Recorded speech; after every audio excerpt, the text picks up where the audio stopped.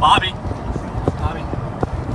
We're in Maryland right now. It is uh, 6.07 p.m. We've been on the road since 10 o'clock? 10 a.m. 10 a.m. Uh, things have been going well. We had to pee outside of a building because they didn't have a bathroom, and several other people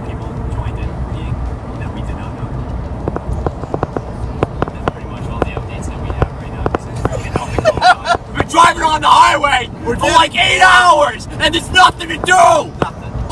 Entertainment on the highway. Ten hours.